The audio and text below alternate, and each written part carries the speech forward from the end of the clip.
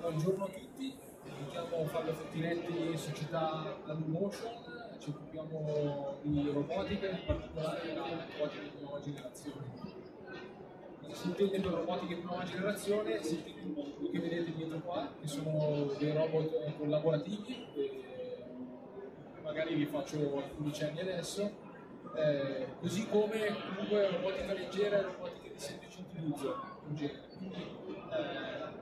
Eh, cercare di abbattere la frontiera che adesso è stata un po' una barriera d'ingresso della robotica, delle difficoltà di programmazione, degli investimenti alti, della eh, necessità di avere delle infrastrutture sia di tecniche che di installazione in cui ho la necessità di chiedere sempre a qualcuno di farmi qualcosa e quindi di farmi una soluzione completa po' adesso eh, la prospettiva cambia perché eh, i robot possono essere installati a banco, come vedete qui davanti, quindi su una struttura già esistente sul tavolo potete connettere un robot e permettergli di fare quel salto di automazione che diciamo fino adesso degli ostacoli.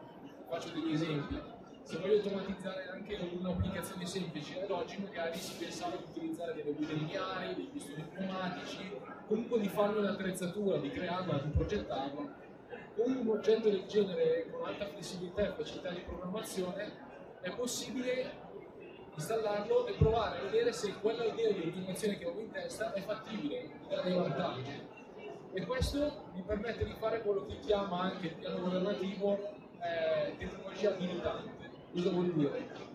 Io utilizzo il robot per fare un'automazione grazie a questa automazione posso rilevare dei dati, per questo che qua la slide Industria 4.0, che poi mi serviranno per fare le analisi statistiche che richiede l'Industria 4.0 o il fatto di poter avere connettività esterna, avere la possibilità di avere sotto controllo la punizione, reagire a possibili differenze di eh, tipologie di prodotti che devo richiedere, il fatto che si pensa che in futuro i lotti produttivi arriveranno addirittura a tendere un pezzo diverso dall'altro e quindi queste esigenze che si pensa che arrivino dal mercato vengono risolte grazie all'automazione semplice e flessibile. Questo è un po' anche per l'introduttivo.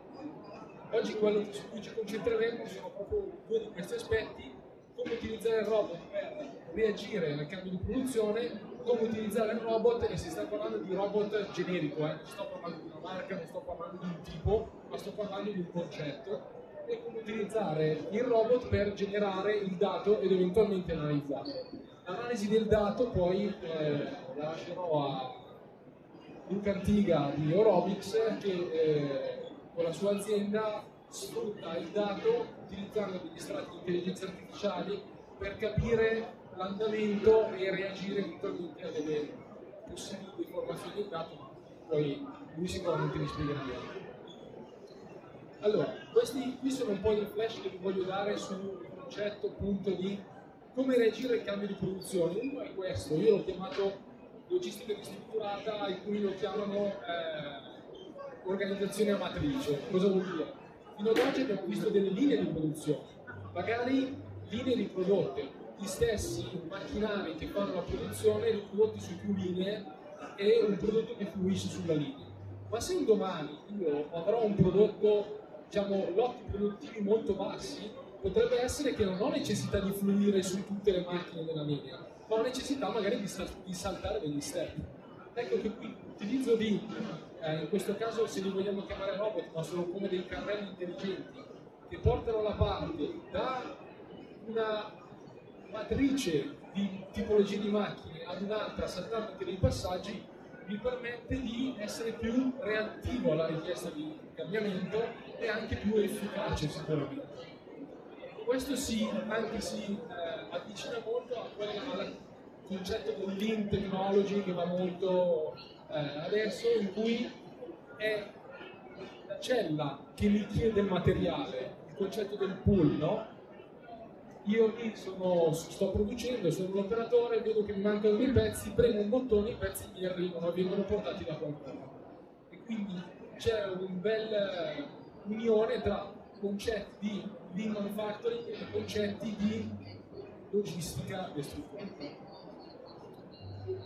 Oppure utilizzare, come vi stavo dicendo adesso, il robot non più come quella macchina che deve fare tanti pezzi velocissimamente e precisamente, ma quasi come sia un nuovo strumento di lavoro. Invece di avere l'avvitatore, utilizzare il robot per aiutare l'operatore. Questo è anche un po' il cambio di paradigma. Quindi vedere spesso eh, un robot a fianco dell'operatore. Quindi un altro concetto di questa robotica di nuova generazione è quello di utilizzarlo per aiutare l'operatore, non per sostituirlo.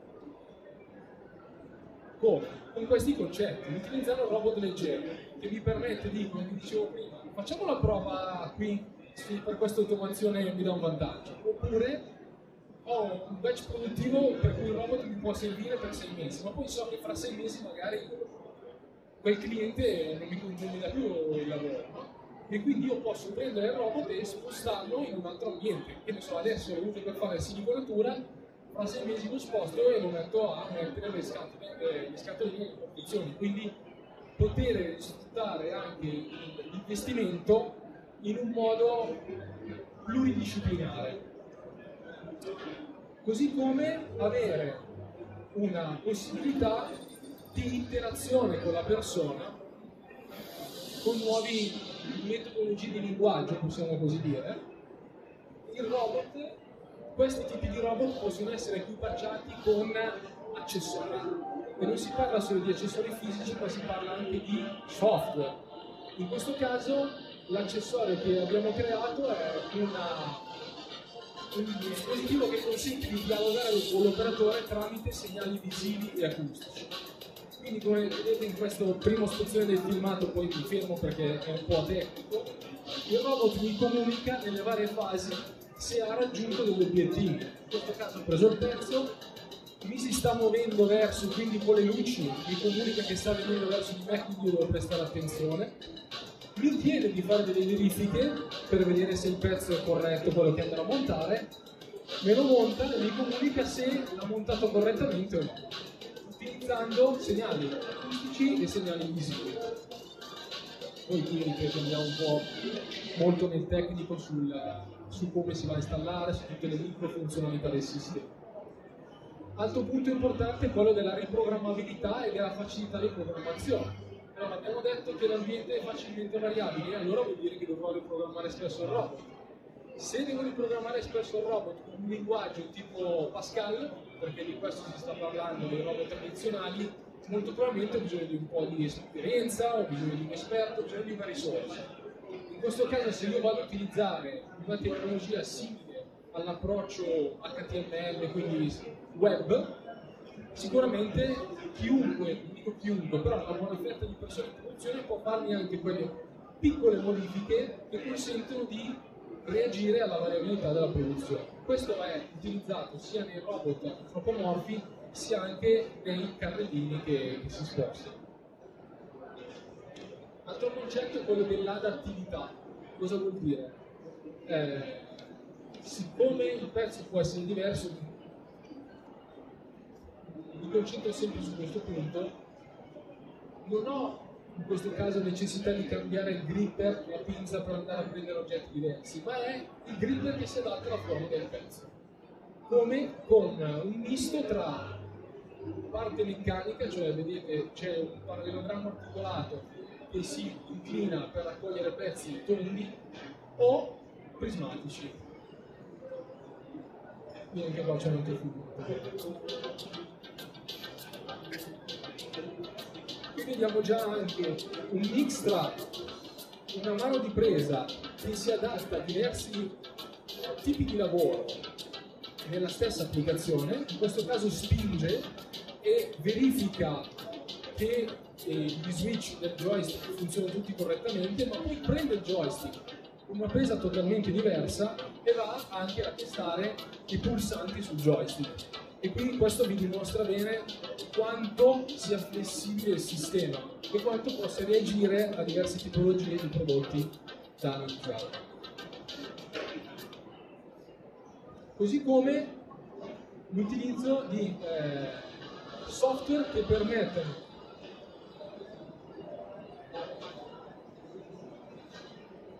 di manipolare pezzi e andare a ricercare un target di inserimento anche se in particolare può cambiare posizionamento. Come?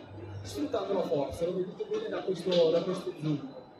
Si sta montando un riduttore, metto una variazione, cioè sposto gli ingranaggi, il robot non ha visione artificiale come dicono, in realtà sfrutta la forza perché vedete tocca l'ingranaggio, sente che non sta penetrando, fa dei leggeri spostamenti fino a quando raggiunge l'obiettivo di poter inserire la parte. Questo algoritmo è un algoritmo che ha una certa complessità, così come altri algoritmi che sfruttano la forza o la ricerca a obiettivo. Come si fa per renderli disponibili facilmente all'operatore? Tramite eh, dei programmi che girano su PC in cui si incapsula la complessità, si creano dei macro blocchi e si uniscono i macro blocchi per creare eh, applicazioni un po' più complicate. Lo vedete qua, eh, sono, c'è la possibilità di configurarlo con dei wizard, quindi si associa il robot e il gripper, c'è un ambiente di simulazione, che anche questa è una necessità del piano Industria 4.0 e tramite, vedete, del, delle istruzioni guidate c'è la possibilità di utilizzare delle funzioni più o meno complicate per fare l'applicazione che avete visto prima. Questi sono i blocchi funzionali e grazie ai blocchi funzionali posso anche fare, non so se avete familiarità con concetti tipo incapsulamento, cioè posso prendere pezzi di programma e andarli a inserire in, uh, in, un, in un pezzo un po' più ad alto livello. Questo mi consente anche che chi non ha uh, particolari skill di programmazione, trascinando dei macro blocchi, posso fare delle applicazioni anche più complicate. Un altro concetto è quello del fatto di avere un oggetto che si muove eh, nell'azienda senza andargli a programmare le traiettorie di, di movimento.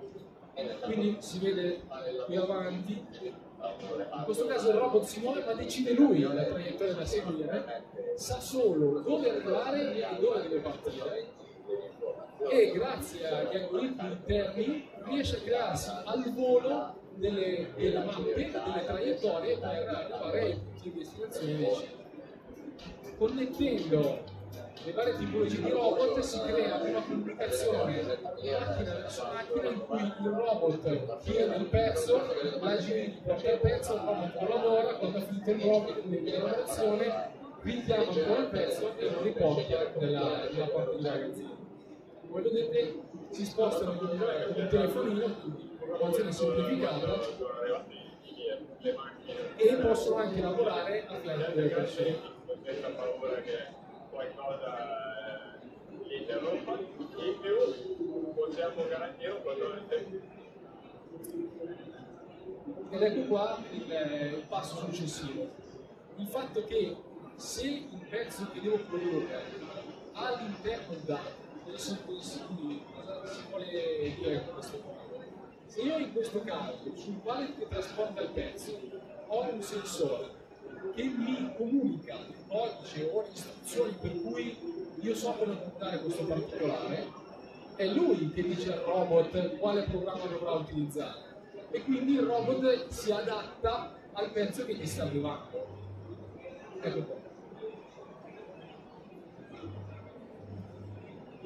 Oppure utilizzare il robot come sensore, cioè prendendo questi accessori che vi ho detto prima, sia sensori di forza sia pinze, ho la possibilità di capire con la pinza quanto è grosso l'oggetto, con la pinza quanto sto premendo e col sensore di forza che forza sto facendo nell'assemblaggio o nella presa del pezzo. Questi dati possono essere immagazzinati e poi a posteriori analizzati. Come per esempio in questo caso, sempre con questo software ho la possibilità di diagrammare le forze si possono generare per il contatto in questo caso con una spugna, fare dei filtri e capire che cosa sta succedendo nel, durante il processo lavorativo.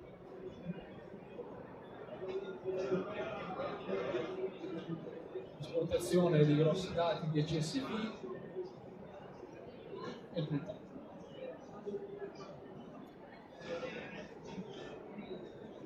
Ultima parte, poi lascio la, la parola Luca Antiga è il fatto di utilizzare il dato per fare in modo che il robot apprenda il lavoro che deve essere fatto, cioè che impari durante il lavoro.